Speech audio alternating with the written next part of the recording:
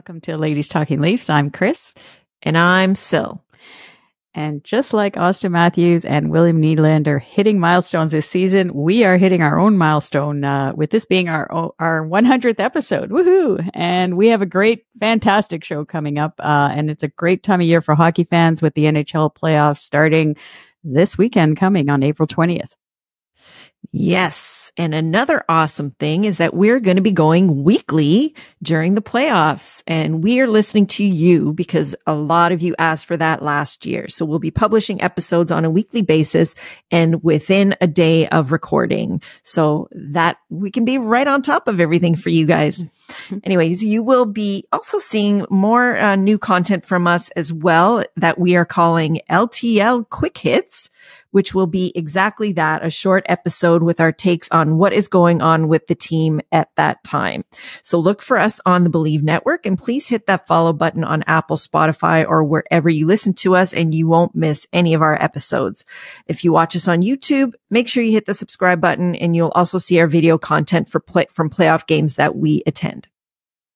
All right, so a bit of business here, just to let you know, Bet Online is our is your number one source for all your spring and summer sports this season from the NHL and NBA playoff stats, MLB and golf. All the latest stats, news and scores available to follow your favorite teams. Get the latest odds and lines, including the latest team matchups, player props, and odds on just about every sport out there. Head to the website betonline.ag today or use your mobile device to get in on the action. Bet online where the game starts. Please gamble responsibly. If you or someone you know needs support or advice, reach out to Connex Ontario or an organization near you. Place your limits and stay within it. All right. So let's get into our 100th episode now. And we are excited to have two guest interviews for our 100th show. First, we welcome journalist and author Damien Cox to the show to talk Leafs and the upcoming playoffs. And then we have former Leaf and current pro scout for the NHL's LA Kings, Mark Osborne, joining us to give us his thoughts on the Leafs. So without any further ado, let's talk Leafs. Getting closer to pup puck drop on the 2024 NHL playoffs, and we're waiting to find out who the Leafs are going to play. Um, to talk about this and thoughts on the Leafs going into the playoffs, we welcome to the show Toronto Star columnist and broadcaster Damien Cox. So, Damien is also author of several books on the Leafs and the NHL, including his latest called Revival The Chaotic, Colorful Journey of the 1997 78 oh, so 1977 78, sorry, Toronto Maple Leafs, which he has co authored with Gord Stellick. Uh, thanks for coming on the show with us again, Damien. Well, it's it's nice to talk to you guys again, and, I generally refer to him as the Gord Stellick. Just the Gord Stellick. Okay. In case there's any you know confusion with all the other Gord Stellicks out there, but uh, oh, yeah. it's, it's, it's, nice yeah. to see you guys again. You've made it through another season, and now you're ready for the heartbreak or euphoria of the playoffs. All right. Absolutely. Yes. No no heartbreak. So well, let's get into it. Starting off with the amazing season that uh, superstar Auston Matthews is having. Recently, you wrote an article on on Matthews where you wrote that Ma- Matthews is the most prolific prolific offensive player in history of the franchise. And the last time we saw something like this over this over several seasons, what the Leafs were a defensive team with Pat Burns or under mm-hmm. Pat Burns. So do you think do you think the fans are appreciating what we're seeing with Auston Matthews, or is there well, still there's always this talk about oh yeah, but what does he do in the playoffs kind of thing, right? right? But yeah, we just want to get your thoughts on that. You know, it's a great question, and it has to do with you know when Doug Gilmour had his amazing season back in uh, 90, the 92 93 season, or when Darryl Sittler had his great season, his 10 point night, and all that stuff back. I guess that would have been the 76, 77 season. Or, anyway, you know, th- those kinds of questions didn't surround those guys at that time. And Sittler hadn't really done a whole lot in the playoffs, and Gilmour had, but not in Toronto. So um, I guess what this is is a function of the fact that you know it, it, people aren't appreciative enough of the fact that this is now a team that's made the playoffs eight years in a row. I feel like saying when I hear that, I feel like saying do you guys realize what happened before this? Like all those years before this? And I feel like they're not as appreciative of this superstar player that is suddenly in their midst. You know, you know, and and and some people they they'd like him to be more like Wendell Clark. I see the jersey behind you there. More like Wendell Clark and drop his gloves, or you know, or as you say, have had a uh, history of playoff success. And you know, I sort of get that, and I sort of don't because let's face it, we watch these guys every year from October to April, and this is a pretty entertaining team with a lot of outstanding players. And then we watch them for at the very end, and yeah, I understand why people would love them to be successful. I'd like to see them tell a different story, but I don't think uh, a great player who does great things in the regular season um, is no is not a great player because his team does not do well in the playoffs if you think that way, then you have to. Then we better all go down and take Marcel Dionne out of the Hockey Hall of Fame and say, no, he wasn't any good. You know, I mean, it, it's it's a team game with a focus on individual stars, and uh, no, I really, I just don't get the feeling. I don't know. What, what do you guys think? Do you think there's enough appreciation out there for Auston Matthews? No, I don't because I just I remember back obviously with Doug Gilmour too, but that was just that was the whole team, I guess, in some ways. Mm-hmm. But uh, when Gilmour got his assists and like his assists record and the points record, but going back to Rick Vaive in the eighties yep. with that fifty with the fifty goal seasons, everything was focused on Rick. I mean, the teams weren't doing well, obviously, during the regular season too much then, and it was like a totally different time. But just so much focus on that on him getting 50 goals and celebrating him the fans were just in love with Rick Vaive all like all the time and um, when he was scoring those those those 50 goal seasons but um, so I kind of compare it to that and I just think I just hear too much of this it's all about the playoffs kind of thing. Mm-hmm. We know it is all about the playoffs. It's all about getting the Stanley Cup, but yeah. I have a question actually since you are a media man. Um, how much of a like an effect do you think that the different media landscape has on that? Because like I remember, you know, especially if you're looking at that Dougie wendell 93 run, like the newspapers, like it was front page all the time. And now that it's, uh, and like we had like our cubicles at work were like covered with, yeah. you know, you know, clip outs from the paper and stuff like that, you know, like, and so eh, the fact that it's all online, a lot of the media comes directly from the source, you know, from the team. Do you think that has a, an effect on the way it's kind of, you know, hyped or consumed or? Well, I mean, the media world compared to 92 is so different. Totally. I mean, it, it's not even, it's not even the same ball game at all. Um, and uh, yeah, I mean, I think you're right. Then you had columnists in town. This was before I became a columnist back in '92. You know, for all four newspapers that you know could change opinion in the city by whatever they wrote in in, in the paper. That's no longer the case. Uh, it's changed dramatically in that way. Um, there's a diffusion of interest. There's more teams.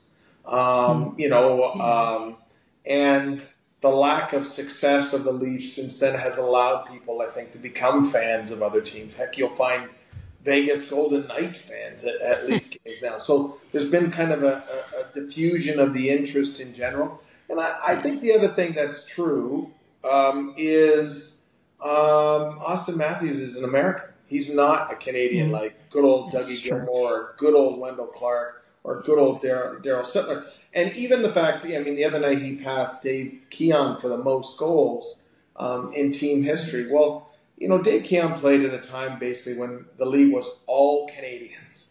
You know, there were no Europeans, very few Americans, and very few teams. Um, now we live in a world in which there are players from all over the world, um, lots of Americans, uh, lots of Canadians still, obviously, and, you know, Auston Matthews has to swim in that sort of very different fish tank than, than guys like Keon did or even guys like Darryl Sittler is. So I think comparing, it's like comparing eras in hockey, you know, mm. comparing Maurice Richard with Connor McDavid. You can't really. You really, you really can't. it's so different. And comparing media uh, environments from now versus 92, 93, hey, you guys weren't around. So how good could it have been back then? Right? this podcast wasn't around. So true. So true. true. Yeah. To keep people informed and break news. So how good yeah. could it have been back then? Yeah, absolutely. Yeah. All right, so let's move on to the playoff picture here. Then, um, we the big question we have about the playoffs right now is the Leafs defense. So Brad Treliving commented before and during the season that the blue line is an area that he wanted to strengthen. Um, do you think that he has done enough on the D to take the Leafs on a long playoff run? okay, next no. question. Would you like no, to elaborate? but you know what? I don't. I don't think that they did. Um, but the, what was there to do? you know, like who could you get? I, I don't think uh, I don't think Alex Pietrangelo was available or Cale Makar or any of those guys. Like, who are you going to get that was going to make this bed was made last summer? The other thing was when you go back to the Leafs losing in the playoffs last year to Florida. Why did they lose? Couldn't score. Yeah, they couldn't score. Yeah. Couldn't score. And we see this every year, and you'll hear the same nonsense if things don't go well again. They're not tough enough. You know, their defense isn't good enough. And I can almost guarantee you, if they aren't able to beat Florida, it'll be because they couldn't score. Um, or, you know, and maybe they don't get significant or good enough goaltending. And they kind of go hand in hand, right? If your goaltending's, eh, you better score some goals. So while I don't think, I think he did what he could with the defense. You know, like I say, who went out and got a player that really changed their defense? Maybe you could argue with Noah Hanifin going to Vegas. You know, maybe you know, depending. Um, so I think it's going to come down to you know whether they've got enough offense, and I really think in a lot of ways another attacker would have you know another goal scorer would have made a lot more sense.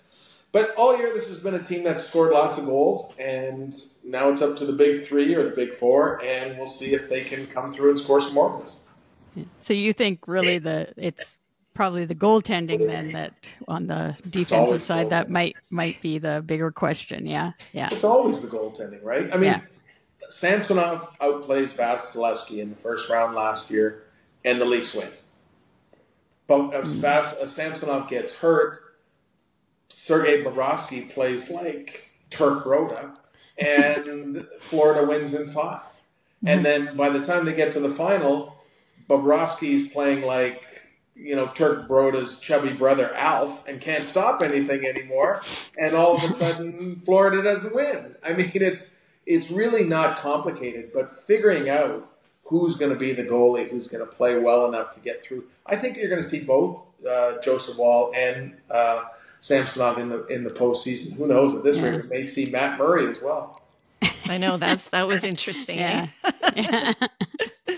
All right, so let's move on then to to Sheldon Keefe. Actually, um, we can say that well, we most people have been saying that he was out coached a, a, few times the last few playoffs um, with Jon Cooper and Paul Maurice both making the right adjustments in the past to beat the Leafs uh, in the playoffs. And Keefe's been a little bit different with his approach this season with the team, whether or not that's because he has a new general manager and it's not his buddy there, Kyle Dubas, that's uh, that's that's with him. But um, do you think this will make a difference in the playoffs, like the way he's kind of changing his approach with um, like the roster and how like Mitch Marner isn't tied to Auston Matthews. Let's just say now, like if he decides to keep Domi, um, with Bertuzzi and Auston Matthews as a line. Do you think like stuff like that will make a difference? Um, it better make a difference, right? Yeah. I mean, it better make a difference.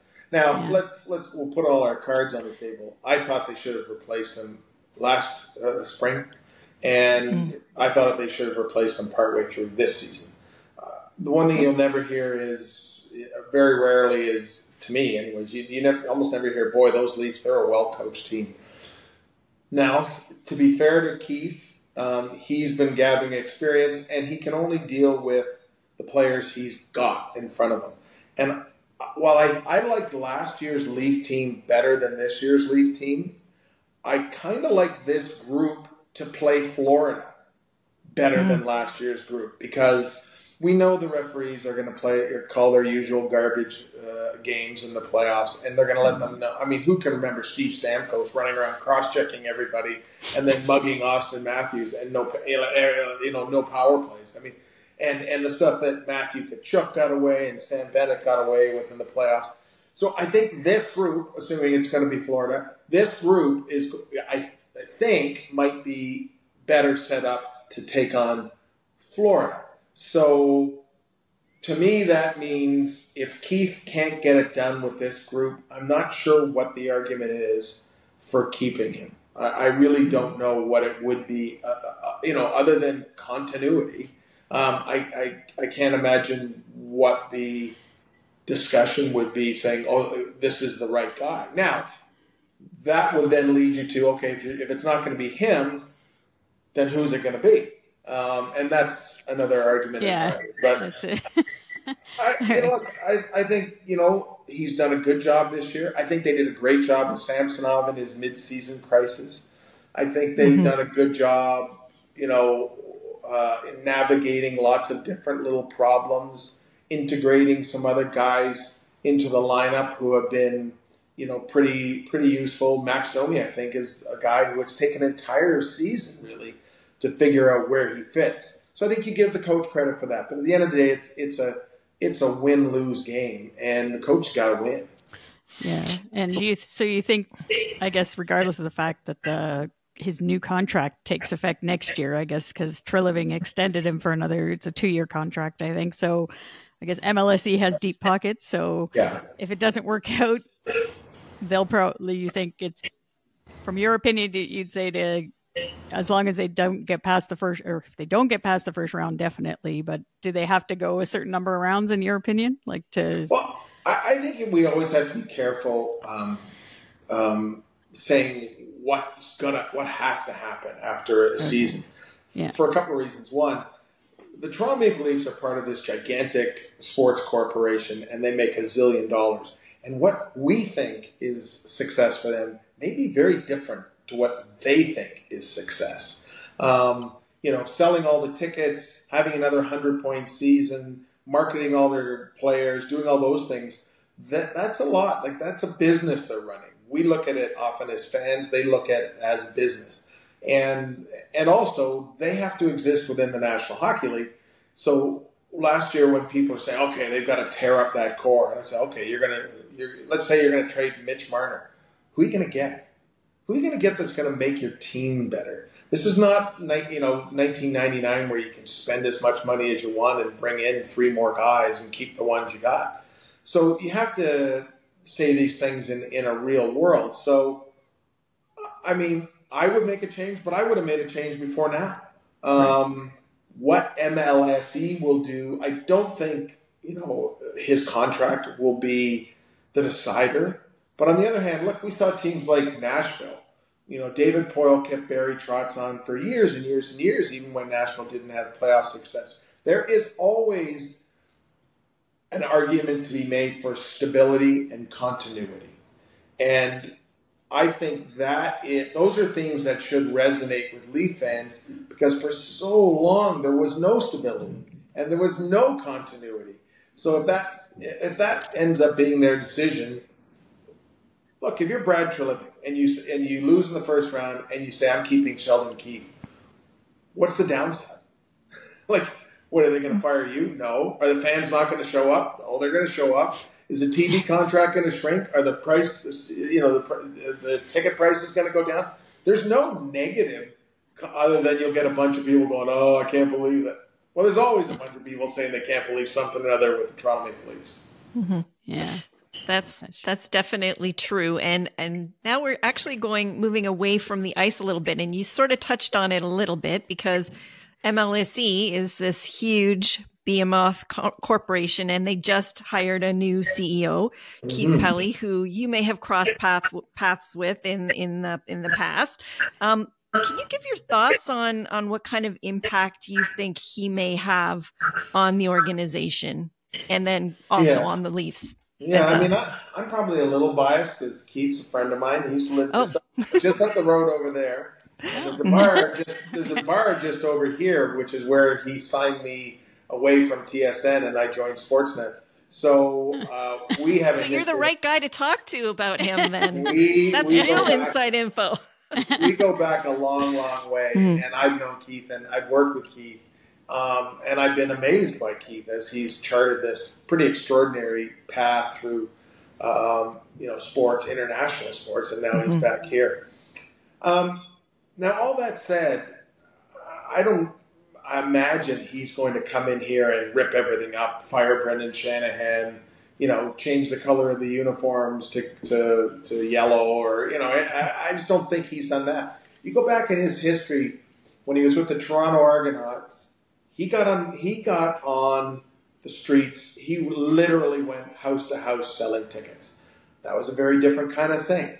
When he went to, when he was at Sportsnet and TSN, he did, um, you know, came up with a lot of different ideas, some of which worked, some of which didn't work.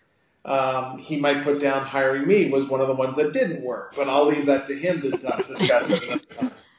Um, when he went to the European Golf Tour, did spend a lot of time really trying to develop new narratives, uh, try to develop stars, and then he got caught up in the whirlwind of this whole PGA LIV fight. So um, now he comes to this situation gigantically successful company, basketball team, uh, and let's forget it's not just the Leafs he's coming to be president of. Um, uh, soccer team, uh, and he may come in and say the Leafs are the least of my problems. I've got other stuff I want to work on, but I think where he will get involved for sure is in what is it, two years now left on this current deal, Rogers with the NHL and mm-hmm. what the new he was the guy who flew down to um, New York and negotiated that deal with Gary Bettman. And I I really wonder at some point if the Leafs are going to say, why do we want to be tied to um, some deal like this? Why can't we have more autonomy? For example, and it's not an exact comparison, in U.S. college football, the University of Notre Dame has their own television package um, entirely unique. Maybe maybe that's what Keith Pelley will be demanding. So I would suspect short term Leaf fans would should anticipate that his impact is going to be on the business side of of what the Leafs are doing, and on the and probably particularly on the television side, because there's going to be a lot happening on that over the next couple of years. Yeah, definitely. Oh, so, Chris, anything that was else? A long answer, eh? Yeah, I know, but really thorough and exactly yeah. what we're looking for. So that's awesome. Yeah. Anyway, we didn't know that. We didn't. We had no idea that. You, no, we had no. He idea. was living living just down the road from you. Yeah, he was. I don't know where he's living now. Uh, yeah. That's, and that's... I, I, saw him about uh, a year and a half ago. I was playing, went over to Europe, uh, England playing golf with some buddies, and then I went down and played with him at his course at Wentworth, which is like, whoa. like, I would, didn't even think they let people like me into places like that. and we played there, and he, I mean, at that point, he was really on top of the world. And now to come back to Toronto with a job like this, I, I think he probably feels like he's on top of the world again. It's exciting for him. Yeah. Well, we're exciting to see um, because I know that he is a very creative guy. Uh, he thinks outside the box. And I kind of feel like the Leafs are, are, you know, an organization so entrenched in tradition. It's, it's really easy for such a big company to be in a pretty small box, you know, not, you know, want to venture too far outside of, of what traditionally has been laid out. Um, so I'm kind of excited to see what he will do in the future. So, Damien, thanks so much for being on with us and coming on with us as a guest again. And we promise we will not wait so long to invite you on again. Who are the other 98 people? um, we haven't had that many guests no. actually, but we're working but, on um, it. Hey, yeah, we're working doing, on you it. Guys, you guys are doing super. And uh, I, I tell you, of all the media out there and stuff, I always get the sense you guys at least you have the, the pulse of the people. There's a, a lot of stuff going on that has changed the media uh, universe in the past number of years, and I think you guys are making a, a good contribution. So keep going. Thank you. Hey, thank, thank you so you. much. We appreciate that feedback. Yeah. And, and yes, we do try to keep our pulse on Leafs Nation. So everyone, you can check out Damien's articles in the Toronto Star and also visit his website, damospin.ca, where you can find out more about uh, his books that he has authored with, of course, also the Gord Stellick as well. The Gord the Gord Stellick. so you can find the link to all of that in our show notes. Thanks. Thanks again, Damien. Thanks, we will Damien. talk to you again soon. Thank you. So once again, we want to thank Damien Cox for coming on the show. He always has interesting and sometimes a little bit controversial takes on the Leafs, um, but it's all fun and, and good.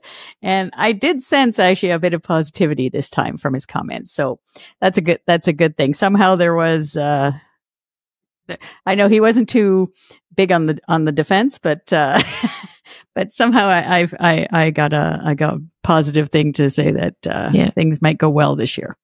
Or Sheldon Keefe either for that matter. Yes, But yeah. anyway, uh, Damien is a wealth of knowledge. He knows his Leafs. He knows the Leafs history. You know, being a journalist in this, in this market for so long, you know, he has, um, just such a broad scope and perspective on, on the Leafs and the business of MLSE in the NHL. So now we're going to go and move on to our next guest, Leaf. Leafs alumnus Mark Osborne. Uh, We get his thoughts on the Leafs and his perspectives as a former player. So it's our 100th episode of the podcast, and we are honored to have with us former Leaf and current pro scout for the LA Kings, Mark Osborne. So we know Mark from his playing days as a Leaf, of course, and he was with the Leafs for eight seasons in two separate stints from the 1986-87 season to 90-91, and then returned to the Leafs for three seasons from 91-92 to 93-94. He played over 900 NHL games, and many fans also know him from his time as an analyst on Leafs TV, and of course, doing the post-game show on The Fan with Gord Stellick. So welcome to the show, Mark. We are so honored to have you on. Well, you know what? It's great to be with you girls. And when I got that email and I go, two girls that are into the Leafs having their own little show, Yeah. I said, no problem. I'm in because I, uh, I'm one that has two girls and I'm in a, in a house full of women. So, uh, this is great. This is great for me. Wow. Fantastic. Yeah. All right. So um, let's start off, first of all, by getting your thoughts on Auston Matthews and the season he's having with 69 goals now, one away. So you were Gary Leeman's line mate uh, when he had his 50 goal season Right. and with the Leafs, and you were also played with Doug Gilmour when he was achieving the Leafs single season franchise records for points and assists. So the question we have, I guess, a lot of fans say it's all about the playoffs, but which is understandable. But as a teammate, can you tell us how it feels as a player, I guess, uh, and the team as a whole to be part of like regular season franchise records like that? Yeah, it it uh, it obviously is still a special thing, and and you mentioned uh, you know Chris that the playoffs are the ultimate. I mean, that's where you're really judged by uh, you know your career achievements in in some regards. But you know, there's no question what Auston is doing right now um, is is fantastic. It's exciting. Um, I remember scouting Auston when he was just getting into the league because I've been with the Kings now for nine years. So you were able to recognize what everybody was talking about this uh, guy that can score big, p- strong, and powerful. And I'm not going to take credit for this, but I did write in some of my earlier reports that he will be the Rocket Richard winner one day. And um, but nobody, I think, would have been imagined in the post-lockout era or the new lock, you know, the new era that we're in with the cap, um, that somebody could accomplish what I think the last person would have done. It would have been, I don't even know who would have done 70 goals the last time. I, I know we talked about Stamkos doing 60, but you know, I was in the building last night when the Leafs lost to Detroit and Auston scored 69 and everybody was just so hoping that they would be part of history, right? Yeah. Um, being in that building, it did not happen. But as I told you off air before, I'm heading down to Florida tomorrow to um, to see the final two games of Tampa Bay, of which the Leafs play on Wednesday, and you know, Auston plays in Florida Tuesday and then in Tampa Wednesday. So hopefully records uh, or or history is achieved with him scoring in one of those two games. Uh, it'll be a treat to maybe be a part of that, watching it because it's uh, it's something special, no doubt. Yeah. All right. But you know, further to that, when you mentioned Gary Leeman and Doug Gilmour, and you know, prior to even Auston breaking Ricky Vaive's record of 54 when he mm-hmm. did that, so. Yeah. Uh, you think about the Leafs' history and the long-standing history of our, over 100 plus years, and there were only 350 goal scorers, and that would have been Vaive, Andreychuk, and Leeman, and I would have played with all three of those guys. Right. So you're kind of looking sure. at that, and you're going, man, don't you think the Leafs should have had more 50 goal guys, uh, yeah. uh, only playing in the generation that I had played in uh, for that short period of time? But nonetheless, um, yeah, it's a, it's an awesome achievement, and and playing with guys that break records, um, it doesn't diminish the fact that they, you know, accomplish these things because you know when Gary scored his 50th goal and having assisted on it, um, I remind him that yeah, I got 50 assists and you had scored 51 goals, but I think I assisted on 50 of your 51. So you would have never have gotten 50 without me. of course, of course. So what what does it kind of feel like in the room though mm-hmm. when like a guy does that like immediately yeah. after? Like what's that kind of like?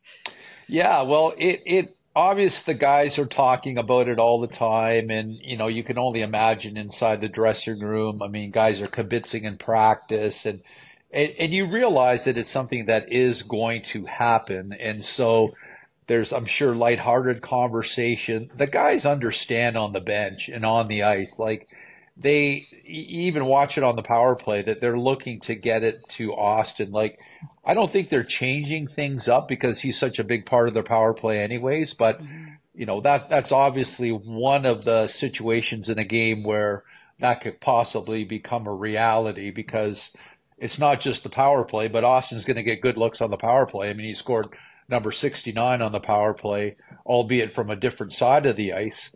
But, um, you know, I think he had 10 shots on net last night. He rang a crossbar. So, um, yeah. you know, when you play with guys like that, I think it almost becomes routine in some ways because you just know that it's going to happen and uh, I don't I don't necessarily think you take it for granted, but you know you do understand the the magnitude of of what it's like to play with guys that have such special abilities and skill, and then you know going back to when Dougie Gilmour broke Darryl Sittler's record that year when he won the Selke Trophy as well. Um, you know, arguably in playing in that generation with Gretzky and Lemieux and Yzerman and you know, those were iconic players, but Dougie, those two years, I would say, was the best player in the NHL um, because he played a 200 foot game. And not only did he play at both ends of the ice, kill penalties, power play, but he broke that record of Darryl Sittler. That was a, a special season. I'm not. You're not going to get any argument from uh, from me in particular there. okay, so let's move on to that '93 Leafs team that you were part of, and you were part of a formidable checking mm. line with Bill Berg and Peter Zezel. Um, do you think that having a true shutdown line is kind of a lost art in today's NHL? Or, you know, how have you seen it sort of evolved in today's game? Yeah, you know what? That that is a great question because I know that uh, as teams, and every team does it differently, right? Like every team builds their team and constructs them, and we've gone into a uh, a style of play that is based on speed and skill. Like that is just the nature of the way the game is played today. Uh, the players in my generation were bigger. We were hooking. We were holding. I mean, now you got to be able to skate and you have to have skill. And the smaller player is now able to play in today's game, whereas in, you know, except for guys like Dougie Gilmour, I mean, you had to fight through the hooking and the holding and the big player. I mean, sometimes when you watch those old highlights, you can't believe what we got away with, right? Like you, I mean, sometimes you could watch, you know, the, the old footage of that series that we had, say with LA, or you watch the Red Wings series and it was exciting hockey and it was back and forth. And it almost seemed as though, even though we were the checking line, it seems like guys couldn't coat, check their coats at the time. You know, like to, the, the, way the progression of the game and, and defensive schemes have have been implemented. Um, and yet, um, yeah, we had that formidable third line checking assignment that Pat Burns was not afraid to put us out against, you know, the other team's top lines and then allow Dougie's line or um, you know, if it was John Cullen at the time or whatever the second line would have been, you know, because Burnsy would always change up yeah. uh, the wingers with Dougie. You know, sometimes yeah. it'd be Borschevsky and Clark, sometimes it'd be Andreychuk.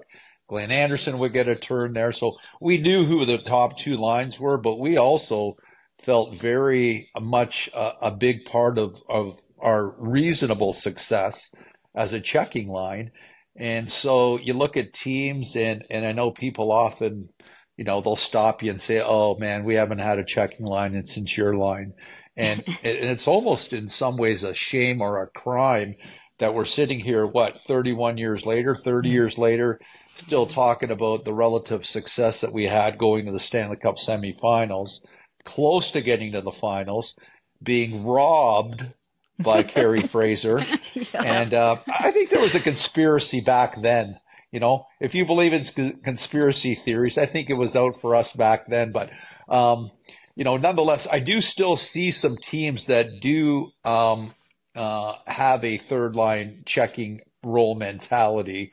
I mean, if you remember when Tampa Bay won their first cup, a couple of not not the one in, with Andreychuk back in 2004, but in in recent years, I mean, you had Yanni Gourde with Coleman right. and Barclay Goodrow. I mean, mm-hmm. that was they were a huge part of that winning winning that Stanley Cup. I mean, they were str- you know they were heavy, even though Gourde was on the slight side, but he he competed hard. Uh, Goodrow checked well. Coleman was a was a heavy body, and so yeah, they were a checking line that produced as well. So um, you know, you look at, you know, maybe another team that has a perfect C3. Like we like to kind of categorize them by C1, C2, C3, C4 on teams. And traditionally your C3 would be and, and form a checking role. Um, and yet C3s today are, are, are often called upon to also score. So, um, you know, you can only put so many guys out on power plays, and so your bottom six get traditionally um, they're they're tagged as your role guys. And yeah, if you can build a checking line that you can free up one of your other two top scoring lines, then that only enhances and helps your team. And and I even think back, you know, to the Leafs with when David Kampf is on your C three. Like you put Jarnkrok over there um, and I don't know who else they would put on their on the left wing, but you know that could be a pretty good checking line for you. Where I know Sheldon Keefe is not afraid to play a guy like David Kampf against any other team's top centers. He might he's not going to produce. Like that's one thing we know David is not going to do. Like even a couple of years ago, he did score a couple of goals in the playoffs, if you remember. Like mm-hmm. those were yeah. important goals for him, but but that's not really his role. And uh, and it's really hard to find, you know, two way guys that can contribute, you know, offensively on your third line as well as defend well, kill penalties. Um, I, I think we've gotten away from that traditional third line that, you know, was the generation that I had been a part of. Mm-hmm. Yeah. Yeah, and especially too, like Peter Zezel, also with the face-off yeah. specialist. There are yeah. some because he would. Yeah. We always, as fans, we were sitting up in the crowd there but, at Maple Leaf Gardens. We we always mm-hmm. wanted. we knew Peter Zezel was going to take that important, all the important draws like that, right? So, yeah, and, and, yeah, and also, and also, what you have to remember, like like Peter's role, and and it's kind of funny how our our um, line evolved that year with Pat is that you know, Peter came from the Flyers, if you remember, and yeah. he was on a scoring line. Like he scored over 30 goals with, he played with Propp and Kerr, you know, Timmy Kerr and Brian Propp. Like, so it was not like he was a slouch when it came to contributing offensively, but, you know, Burns, he looked at our lineup and said to us, like, could you guys play a certain role? And of course, you mentioned the fact that Zez was very good at, at, at uh, taking faceoffs. Well, I remember Burnsy coming up to me, and I had never played right wing. And I know Bergie played left wing, and he asked me, you, "Can you play? Have you played right wing before?" And, and, what do you think I told him? I go, "Of course I've played right wing before. I had never played right wing my whole career, but but uh, I had played with Steve Larmer in junior, and Steve was a left-handed shot that played the right side. So, um, you know, playing your whole life as a kid and playing, you know, a good part of your pro career on the left side, playing left wing. I mean, it was an early adjustment, but like it doesn't change your role. Like if if you right. understand the game, you can check um, it is a slight adjustment playing on your opposite side, but nothing really does change. Some guys can't make the adjustment. And I also think that there are defensemen. I think it's even harder for defensemen when you ask a left handed shot to go play the right side. That's not a natural thing for them to do. Um, TJ Brodie can do it with the Maple Leafs, and now you're seeing Brian McCabe play the right side. And so some guys make the adjustment they can do and other guys can't. But, um, you know, nonetheless, in our case, uh, we fooled Pat and he used us. All right. So uh, we're going to move on and we're going to talk about, um, I guess, the spotlight of Toronto mm. um, and how yeah. it apparently it's so hard for players to deal with the media and just being a Toronto Maple Leaf. Um, and being a former Leaf player and also having the experience on the media side, we wanted to get mm-hmm. your thoughts on um, on this. On like, do you think the Toronto spotlight is so much different than any other Canadian market? Like for players to that they make such a big deal of this. well, yeah, it, it, it, certainly is. I mean, both Montreal and Toronto, I think, stand apart from the rest of the NHL. I mean, the spotlight. I, I think Vancouver is tough on their players. Um, okay. There, there could be very, very critical. In some ways, I'm surprised, you know, to that degree. But you know, the emphasis of being a Canadian uh, hockey player, or you know, being a player on in a Canadian market is is is really special. It, it really is. And when you talk about a rich tradition of being a Maple Leaf, it, it is not for everyone. Um, you know, because like you can hide in Tampa Bay, you can hide in Los Angeles. When I played with the Rangers, I mean, you could go to the rink and nobody knows you, right? Like you could go out to a restaurant, nobody knows you. Even you in can't New York. In yeah, New even in New York. Well, come wow. on, you know, there's millions of people yeah. in New York. Yeah, people do true. recognize you, but but there are so many other. There's tourists. There's there's you know there's lots of people that wouldn't have any idea who you are, mm-hmm. but you could be a fourth line player in the Maple Leafs and people will know who you are in this city. Um, it just goes with the territory. Now things have changed with social media, right? Like the phones, guys are afraid to go to the bars because of pictures and, you know, who knows? There's all sorts of those types of things, but there's, there's added pressure in this market. And, and I think there's been more added pressure because of the Leafs inability these last 20 years now, right? Like we're going to, you know, 2005 when the cap was introduced. Like the Leafs have gotten out of the first round once, right? And that mm-hmm. was last year. Yeah. Yeah. So, you know, when you talk about the fact that the Leafs have had, like, let's face it, they, they have an entertaining team. Like fans should be proud of the Maple Leafs and the product that they get to go and watch. But I hear the narrative on the other side of things is that as soon as things, you know, they lose a game or two or whatever, or they look at this team and it's like, ah, they're out, they're going to be out early again. They're going to be out early again, right? I just, and I, I just heard that last night on yeah. Twitter. no, and I, yeah, and I yeah. think that for the player, like you cannot, um, I don't think you could, you could do the best that you can not to pay attention to it, but these guys are on their phones. They read they read the noise and stuff. And I know the team does its best to tell the players like do yourself a favor and don't go on social media because that can really truly affect you mentally in your performance because we didn't have that when we played, right? But I remember like, and this was before the Pat Burns days, but when young players like Vincent Damphousse and Daniel Marois were playing, mm-hmm. and they mm-hmm. would come in the dressing room. I'd see them reading the Toronto Sun in the morning, and and they were like they were like captured by everything that was said about them, positively and negatively. And you can see that these guys, it's not good for them. It's not mm-hmm. good to listen to all that narrative, but um, as much as the media is for the Maple Leafs here, I, I, think the natural part of it, and having been on the other side, as you guys have mentioned already, mm-hmm. um, in doing Leaf TV or doing stuff on the score with Gordy Stellick, I, I think there's always a natural um, uh, ability, I think, to criticize or look at the faults uh, as equal, right? And when things don't go well, I mean, it's easy to pile on, right? Like I, I think mm-hmm. there are some in the media that enjoy um, the negativity rather than the positivity, and I think that that's unique in certain areas. I see it happen in Montreal, La Presse. Mm-hmm. I mean, that's the French version, but they could be so so hard on their players. And you open up that La Presse, like how many pages in today? Like how many people read the newspaper today? And there's like eight pages of Montreal Canadian stuff there, right? So hmm.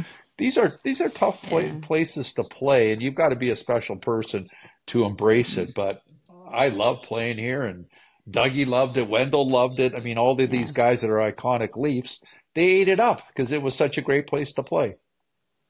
Yeah, well, we, we, think it's a great place. Yeah. we think so too. Yeah. Well, yeah, you know, and and and now for the guys, and and and a specific, I, I would specifically talk to about Mitch Marner, right? And you know, William Nylander, I think made some strides last year in producing in the playoffs, but the focus really is on a guy like Mitch. Um, mm-hmm. You know, like he's one of their their top players. Um, and and until he can figure it out in postseason how to get past the verbal abuse of Brad Marchand or the heaviness and how the game does change because it looks like they'll get Florida. And Florida, I think, surprised the Leafs last year, but no team wins without its best players producing. It, uh, you you go back in the history of Stanley Cups, like who's yeah, you need your foot soldiers in that. They it, it's a team game, but your best players have to be their best players in order for you to succeed. And uh, that certainly lies on the shoulders of their top guys. And mm-hmm. that's Mitch, and that's Auston, and that's Willie, and that's the Fab Five, you know, for mm-hmm. for what we've been talking about for these last many years. Yeah, I can't say it yeah. better than that. That's for sure. Yeah. We've been we've been saying that for a few years, like you said. Yeah. Yeah. yeah. Anyways, um, let's switch gears and and why don't you tell us a little bit more about what you're doing uh, as a pro okay. scout with LA right now? Yeah, so I've been on the pro scouting staff now with the Kings for nine years. And, you know, if you would have asked me, and this almost comes back full circle because, you know, I, I look back on 93 and us losing to Rob Blake and Luc Robitaille and, you know, Nelson Emerson and these guys, and they were on that team. And now I'm working with them, right? Like, hmm. and, and I did not play for the LA Kings. So, you know, getting that opportunity when I got approached in 2015 after they won two Stanley Cups, I mean, I wasn't campaigning for a job in scouting. I just got approached. I was, you know, happy to do the stuff with Gordy and, you know, life was good here. So, um, but it really got my juices flowing because, you know, I started thinking about it. I went to LA. Um, they told me what the job entailed. And so I got really intrigued by it. And, you know, they offered me a two year contract. And I figured, well, if I'm not good at it or it doesn't work out or, or whatever, then at least I know I would have tried, you know, like because mm-hmm. being part of a team is one thing that you really miss, like once you retire. Mm-hmm. You know, everybody talks about the camaraderie, the players, the dress room, the road trips, like all of those things are, are really something you miss as a player. So to get back involved in a team, uh, with the possibility, even though you play a small role in pro scouting, um, it still is cool. You, you feel a part of the team. I mean, Blakey and uh, the management team, Luc Robitaille. I mean, those guys are such awesome guys to work for because they get it. You know, they played the game at a high level. And what I like about being part of the Kings is that none of those guys, like we all, we're all born with egos, right? Like you wouldn't be a pro athlete if you did not have some self confidence or an ego in there somehow but yet everybody there is so even keeled. Um, and you're talking about Hall of Fame players and mm-hmm. Cup winners, right? Mm-hmm. And and yet uh, everybody's treated equal. Um, they listen. You know, we're built on trying to do the same thing Leafs are trying to do. So it's kind of funny that I'm here and my mom. You know, she calls me almost after every Leaf game, and she's she's a Ukrainian woman. She goes, "Hey, Mark, so did you see the Maple Leafs last night?" and and she would she would come up with these you know euphemisms or whatever yeah. and say some funny things and she would say well the hurricanes came into town and they blew the maple leafs away you know she would say something funny like that or or temp or the leafs were hit with lightning last night and i go i go mom Mom, I, I, I, get it. I get it. You go, you know, I work with another team. I, I do have a care for the Maple Leafs, but I've got my own team to worry about. Oh, she goes, Oh, Mark, please don't say that. They were so good to you, you know, which they were, which they were. But, but it's, it, you know, it, it's interesting being a former player in this city. And because there's some of us that had played for the Maple Leafs. Mike Eastwood works for Philadelphia. Mm-hmm. Alyn McCauley works for Philadelphia. Um, Jay McClement works for Pittsburgh. So there's guys in the game that, you know, did their best to win a cup for the Maple Leafs, but work for other organizations. I skate with Gary Roberts on Monday mornings, and he does um, development for his friend Ronnie Francis with the Kraken, right? Mm-hmm. And you look at guys that played the game, you always kind of remember them as as as Maple Leafs, right? But mm-hmm. we're we're all now well, a good part of us are working for different organizations and and for others like my friends like my phone blows up almost every night regarding the Leafs. And I say, guys, you know, I do care, but I do work for somebody else and I've got nine other teams to worry about besides the Maple Leafs. But no, it's it, it is fun to be a part of the job and, and being a pro scout. I mean, our job is specifically for trades and free agency. So, right. um, you know, guys that we have acquired through trades like Kevin Fiala or Viktor Arvidsson or, um, you know, Gavrikov, those are part of trades. Pierre Luc Dubois. Uh, on the UFA side, that would be us looking and, you know, rating and saying, okay, UFA centers, uh, where does Phil Danault place on our priority list? And obviously, we signed Phil, and he's been a great mm-hmm. addition to our team. But that's where our job comes in mm-hmm. for management.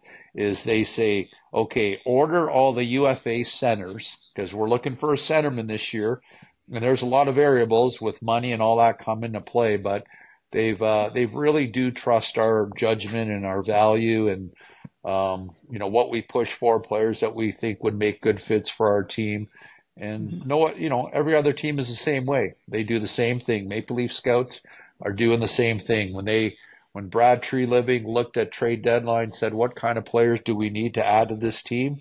They went out and got Edmundson, right? They added a little bit of jam and bite on their back end. They went out and got Ryan Reaves in the summertime because I think they recognize an ingredient that this team does need when you play heavy teams like Boston or Florida so there you go. There's where your pro pro staff come into play. Mm-hmm.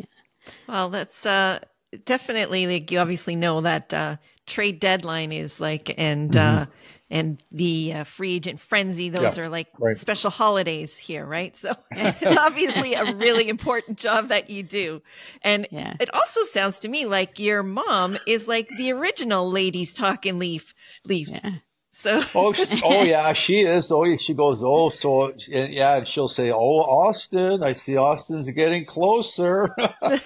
Yeah so so yeah you know like you, you think of a Ukrainian immigrant woman who came to Canada in the 50s had no clue about hockey. Mm-hmm. and then uh, you know what turned it around for her is well she married in the early well she married in 1960 uh, if you're a Canadian man, I mean, you know, with all due respect to girls, but it's like you're into hockey on a Saturday night. You know, mm-hmm. my mom was upset at my dad because it was hockey night in Canada on a Saturday night, but then Team Canada rolled around in 72. My grandparents got into that because they were part of the, you know, the Iron Curtain. Ukraine was part of Russia. So they got into hockey. My mom got into hockey. I started playing hockey and then, you know, instantaneously you know, how how can you as a, a mom or dad not get behind your son? And mm-hmm. so yeah, I mean, I got drafted by Detroit. I played with the Rangers, but when I got traded here to Toronto, I mean, that was like the epiphany for my mom, you know, because again, it takes you back to your childhood, right? Riding the subway, going down to Maple Leaf Gardens and watching those guys as a starstruck kid, right? Watching Lanny and Borje and Darryl and, you know, Davey Keon and Palmateer. And then all of a sudden, you're one of those guys and you're playing against those guys. And now you become mm-hmm. a Maple Leaf and you put that jersey. I tell you, like I had played six or seven years in the NHL before I got traded to the Leafs. And I remember my first game because I played in New York the night before. I got a call from Phil Esposito that next morning telling me I'd been traded to the Maple Leafs. And I had to get on a plane and play that night in another uniform within 24 hours. And it happened to be the Maple wow. Leaf one. And in doing so, I was nervous. I was nervous. Like it was like in front of my home hometown. But, but, uh, yeah, it was, it was wow. a dream come true. Well, Mark, uh, this has been incredible. We thank you mm. so much for coming on with us and giving your time. Uh, yeah, I don't, I don't know what else to say. We yeah. can, we can talk was, Leafs for oh, yeah. with you for oh, like yeah. a lot longer. So yeah. no, no, we certainly can. I love talking hockey, and I love, I love the fact that you know how women's hockey has exploded, girls hockey. I mean, my girls. I said, "Hey, would you like to play hockey?" And I don't know if they were shy or you know, one one was more academic and in the books. My other, my youngest one was more of an athlete, but you know, she never did. Um, but yet, it, it's great to see the girls, the the game grow with women's hockey, and and now to see that uh, you know it carries on into the media circles. I mean, you know, yeah. women covered hockey back when I played, but it's taken on a whole nother level and it's uh, just cool to be a part of this with you girls. Well thank you so much and Thanks, we look yeah. forward to talking to you again in the future. My pleasure. have, have a great day. Yeah thanks girls. Thanks again to mark osborne for taking the time to come on the show and being a, a part of our 100th episode it was uh, amazing to have him on and um, just to do with as a player, the perspective that he gives, being in the room, and um, and then also obviously all those brought back a lot of fan moments for uh, for both of us. I know for from those 93, 94 runs. So it was fantastic to have him on, and we thank him so much.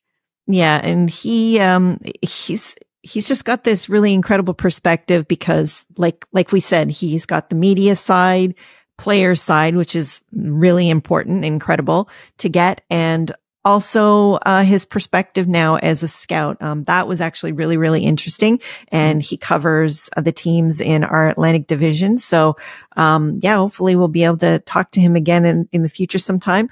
He is the first former player we've had on. So we are super grateful um, that he was able to join us. Yeah. So hopefully other former players will watch and they'll want to come on to mm-hmm. join yes, Ladies Talking Leafs too. Yeah.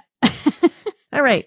So before we want, we go, we want to thank you, our listeners and followers on YouTube and social media for listening and watching our show. It's our fifth season and now a hundred episodes. So we can't really believe that it's, we've gone this, this far already. And of course we wouldn't have been able to do it without all of you who, who listen to us and follow us. Yeah. Yeah. No, it's been, it's been a great ride and, uh, thankfully Sale thought of this show uh, way back in uh, to get to get me into this and uh, yeah it's but like you said it's the listeners that uh, and the followers on social media that uh, that that keep us going. So mm-hmm. thank you so much. Well we love talking leafs and we love keeping the conversation going with with leafs nation. So yeah and don't forget, Leafs Nation, we are going weekly for the playoffs. So the best way not to miss an episode is to hit that follow button wherever you listen to us, uh, Apple, Spotify, uh, YouTube, hit that subscribe button.